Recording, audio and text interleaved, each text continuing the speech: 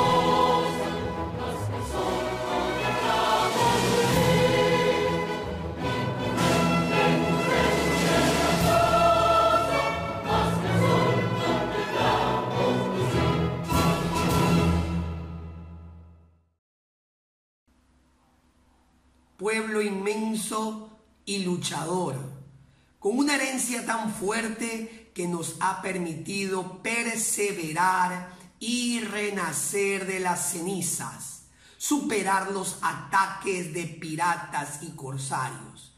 Guayaquil de nuestros amores.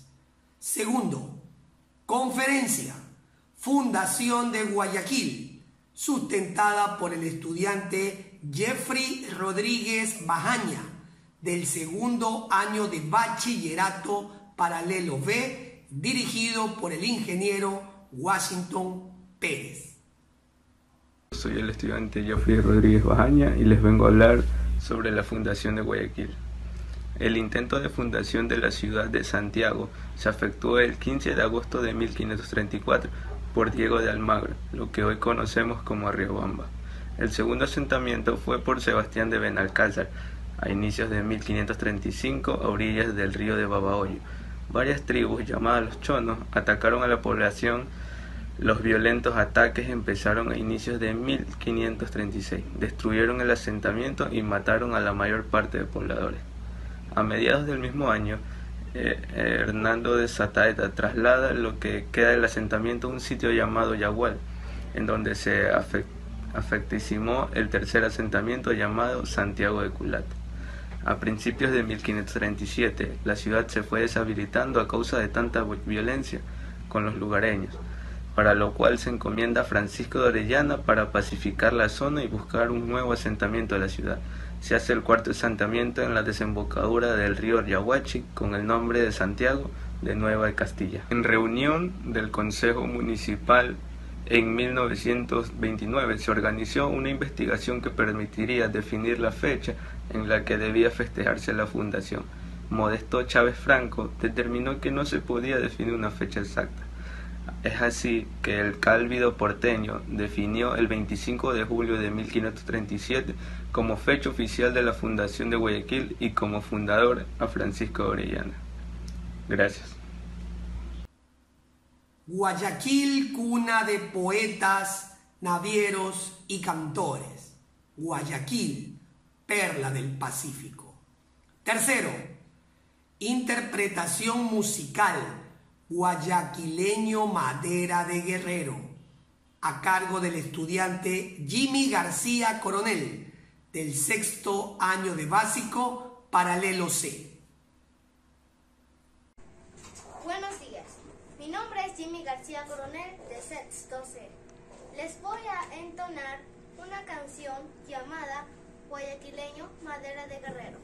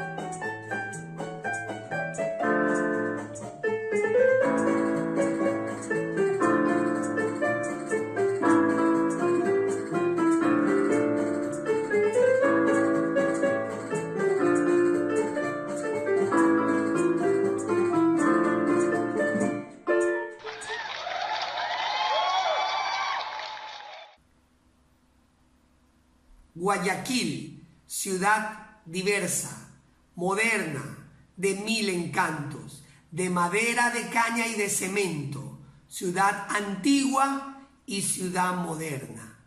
Cuarto, valor de la semana, la honestidad, conferencia en inglés a cargo del estudiante Adrián Chávez del segundo año de bachillerato paralelo B dirigido por su maestra de inglés, la licenciada Patricia Peñerrera. Good morning, my name is Adrian Chavez. I'm going to talk about the value of honesty. First of all, honesty promotes authenticity. Honesty reflects one's own feelings and thoughts. Honesty certainly helps people in knowing who you really are. One must be honest in self expression Honesty removes fear from the heart. It makes a person courageous and confident. It certainly takes a huge amount of courage to speak the truth. Being honest is about being real with yourself and others about who you are, what you want, and what you need to live your most authentic life. Honesty promotes openness, empowers, and enables us to develop consistency in how we present the truth. Without honesty, there is an absence of trust if we are seen as, as being honest.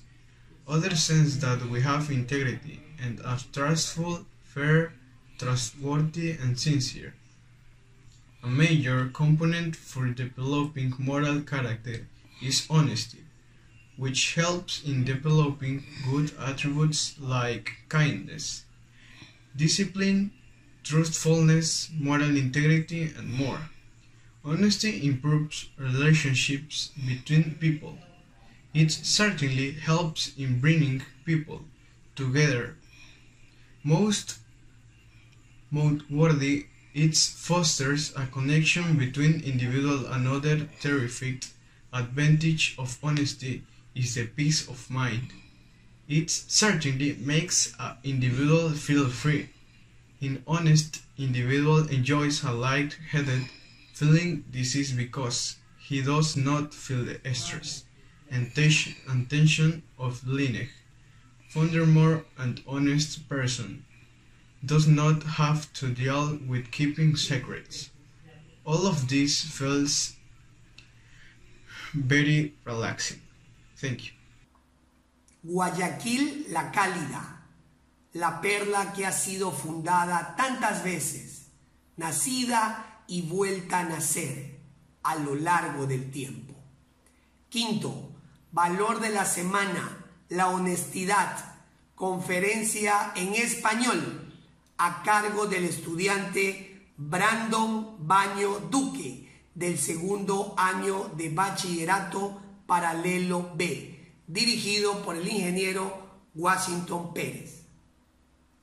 La honestidad es considerada un pilar básico en nuestro día a día. Ser una persona honesta nos permite aumentar la confianza en nosotros mismos y nos llevará por el camino de lo que realmente es correcto, dejándonos una conciencia siempre tranquila, dándonos esencia, dignidad y sinceridad. La honestidad es de lo más importante. Gracias. Festejemos el espíritu sempiterno de Guayaquil, que nace y renace, se funda y se refunda para reconocerse diversa, múltiple, como nuestra casa grande. Sexto, intervención de los estudiantes. Dasha Garaví, David Rodríguez, Dayana Quinaloa, Robert Ojeda, Larisa Valencia, Jesús Robalino, Sofía Sánchez y Adrián Torres todos ellos del sexto año de básico paralelo C, que nos van a deleitar con una hermosa pasarela. Romance criollo de la niña guayaquileña, dirigido por la máster Jessica Mendoza.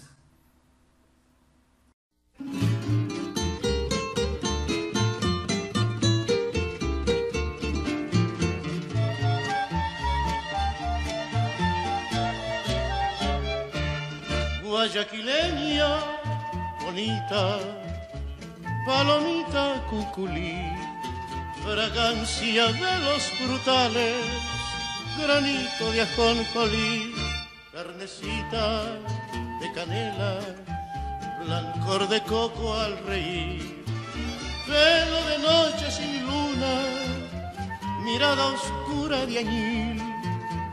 No me mires de ese modo, porque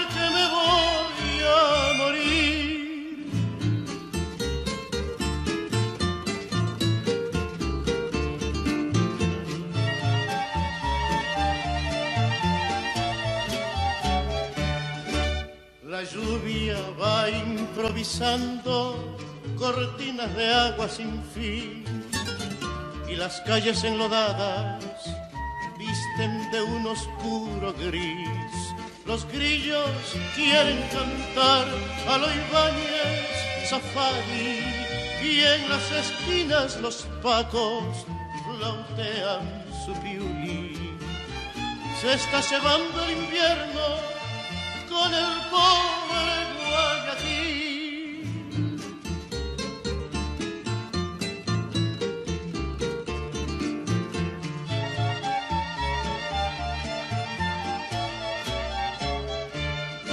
La niña guayaquileña, suavidad de caniquí, pabilo que se consume, se está muriendo de spleen, no te mueras, morenita, sin antes quererme a mí, sin que me digan tus labios palabritas de canquil, sin recostarte en mi pecho y dormirte de perfil.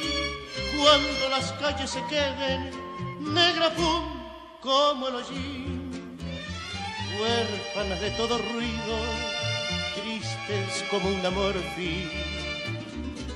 Me apearé de la noche y me llegaré hasta ti para cantarte al oído esto que deseas oír.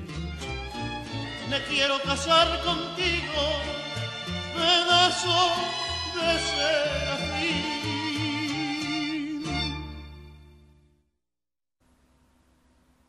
Guayaquil, ciudad abierta y metropolitana, querida, amable, emprendedora, digna y revolucionaria, ciudad bella, cantada por poetas y trovadores.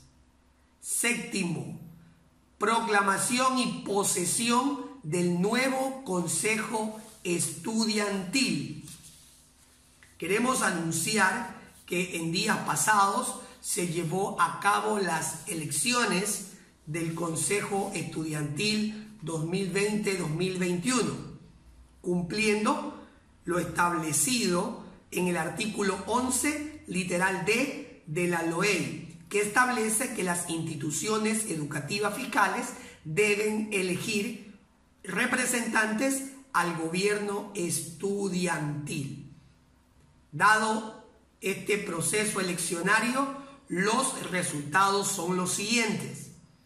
Presidente, el joven Axel Isaac Alvarado Mosquera, Vicepresidente Javier Emilio Ramos Castro. Secretaria Natasha Valentina Alcíbar Zacoto. Tesorero Kevin Javier Morales Castillo. Vocales principales Keila Pelagallo Morán. Y segundo vocal Génesis Nicole Cantos. A continuación, un video que se ha preparado mediante el cual los estudiantes toman posesión del cargo del Consejo Estudiantil. Veamos.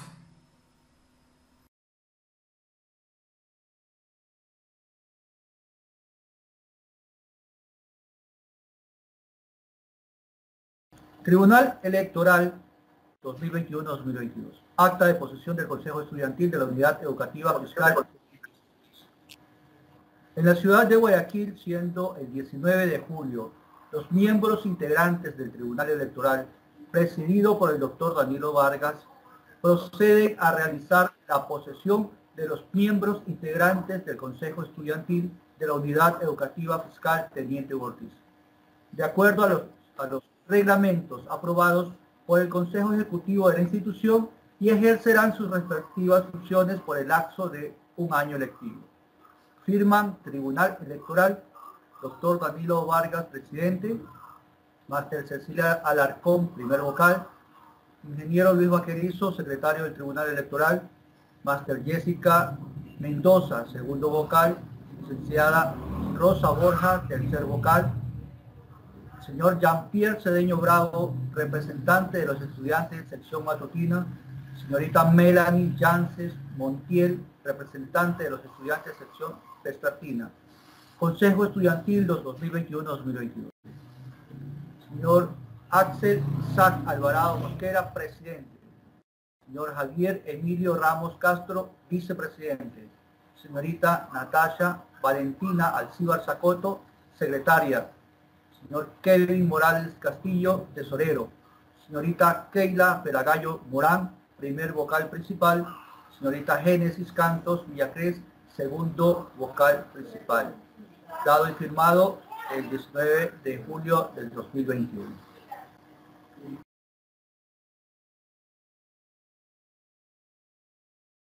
Saludos cordiales a toda la unidad educativa fiscal, Teniente Ortiz, de parte de quien les habla, Axel Albrado.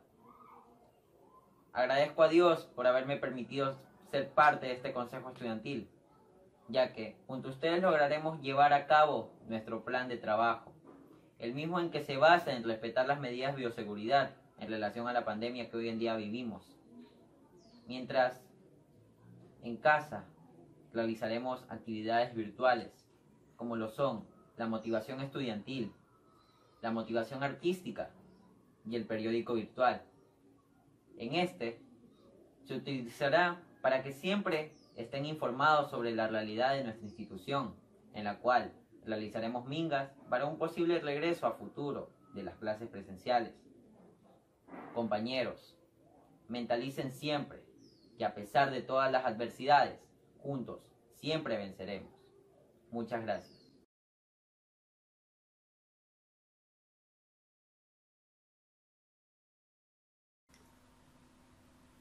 Guayaquil, ciudad hermosa, de América, guirnalda, de la tierra bella esmeralda y de la mar, perla preciosa. Octavo, himno a Guayaquil.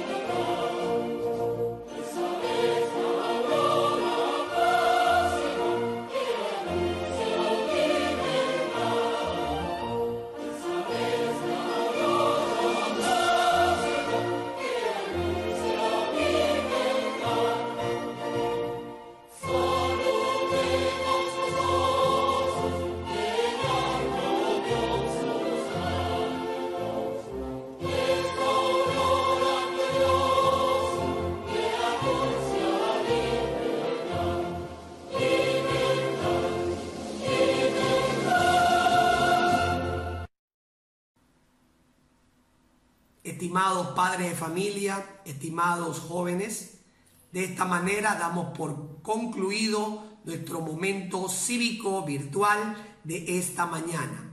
A continuación, los tutores continuarán con las agendas semanales ya programadas. Bendiciones y que viva Guayaquil. Hasta la próxima semana.